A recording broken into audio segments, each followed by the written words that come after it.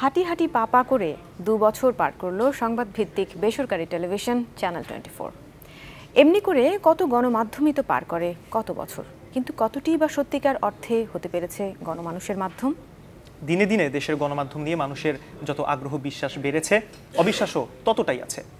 সাধারণ মানুষের ভাবনায় গণমাধ্যমকে ভাঙতে হবে শৃঙ্খলের শেকল। খান আল মামুনের ক্যামেরায় সেই ভাবনাগুলো তুলে ধরছেন মাকসুদুন নবী।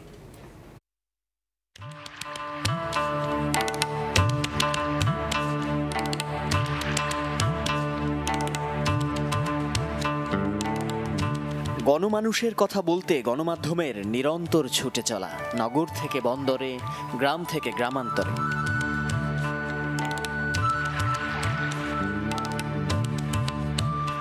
প্রযুক্তির কল্যাণে স্যাটেলাইট সংযোগ এখন পৌঁছে গেছে প্রান্তিক জনপদেও।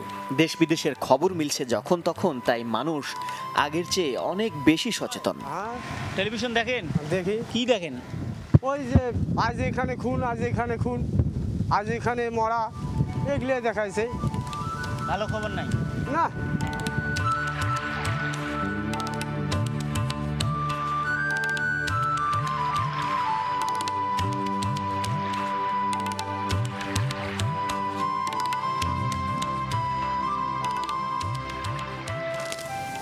বাসার ডিশ লাইন আছে?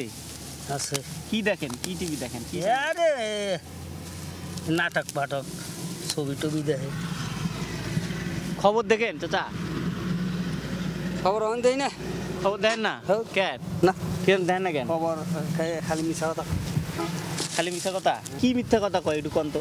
এই যে এক জিনিস হইলে বালা করে কয় না এই মিলাই মিলাই বুঝাই দেয় মানুষের। গণমাধ্যমের প্রতি কৃষক মোহাম্মদ আলীর এই অবিশ্বাস হয়তো অনেকেরই প্রতিধ্বনি তবে এর ভিন্ন চিত্রও আছে।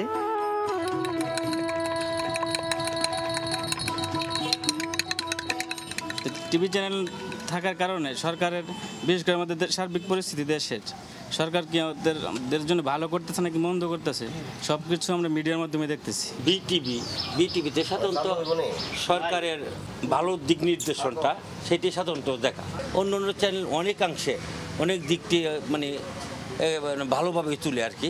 চ্যানেল টোয়েন্টি ফোর মানে যে ইয়েটা এটা অন্তত তো দলীয় আমার আমার দৃষ্টিকোণ থেকে এটা অনেকটা দলীয় কিছু মনে হয় না। আপনার চ্যানেল ঠিক রাখার জন্য আপনার একটা উপরে লেভেলে একটা ফোন আসবে আপনি এই জিনিসটা দেখাইবেন না। আছে না এরকম? তো আপনারা যদি এটা করেন তাহলে তো আমরা ওই জিনিসটা অরিজিনাল জিনিসটা পাইলাম না। নির্ভয়ে নির্ভেজালে এবং কোনো রকমের কারচুপি না করে একটা সত্য অরিজিনাল জিনিসটা তুলে ধরুক। কিসের জন্য মানুষ আজকে ক্ষতিগ্রস্ত হইতেছে?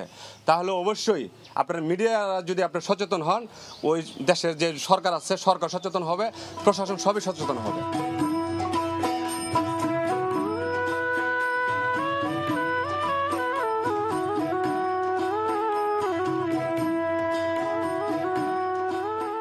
আপনার ঘরে কি টেলিভিশন আছে?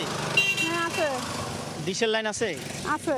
ডিশের লাইন? হ্যাঁ। কি দেখেন টিভিতে? টিভিতে খবর দেখি তারপরে এমনি অনুষ্ঠান হয় বিভিন্ন ধরনের এসব দেখি। হিন্দি সিরিয়াল দেখেন না? হিন্দি দেখি। কোনটা দেখতে বেশি মজা? আমরা তো হিন্দিটাই দেখি এখন। কেন?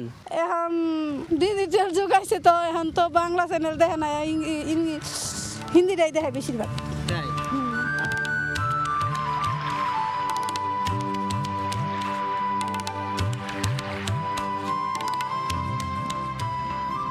বলা হয় যুগটা হলো বিশ্বায়ন মুক্ত আকাশ আর খোলা জানালার। তাই সেই সুযোগে গণমানুষের কথা বলার দাবি নিয়ে একের পর এক আসছে নানান গণমাধ্যম। আর তা করতে গিয়ে কারও ভূমিকা হয়েছে প্রশংসিত, কারোটা হয়েছে বিতর্কিত। তাই গণমাধ্যম আসলে কতটা গণমানুষের হতে পেরেছে সেই বিতর্ক কিন্তু রয়ে গেছে।